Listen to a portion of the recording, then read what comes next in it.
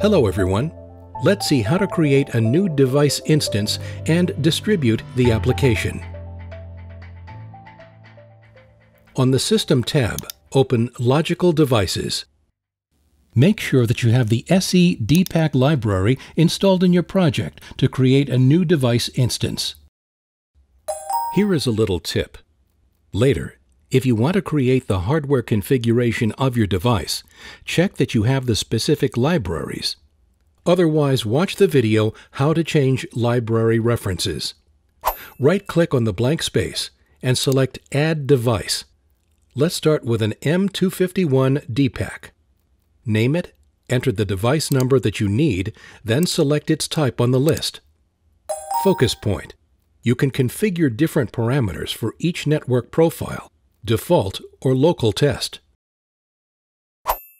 Here you can see all the parameters that you can configure. Here is a little tip. You can start automatically your device in run state by changing its deploy setting. To do this, configure the auto start on true. You can also set the parameter clear before deploy at true to automatically clean the device. You have created a new device instance now let's distribute the application. Go to your application. Map each function block to the dedicated device. Here, for example, we will map one MotorCat per device. You can see the mapping location by letting your mouse on this icon. Don't forget to save your solution. To test in simulation, make sure that you are in Local Test, in the System tab, and in the Deploy and Diagnostic tab. Select all your devices and compile them. Start the runtime simulation.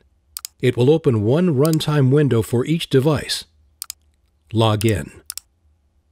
If you have changed some device settings, you need first to deploy your device configuration. Finally, log in and deploy.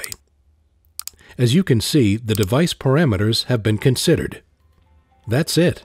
Now you know how to create a new device instance and distribute the application.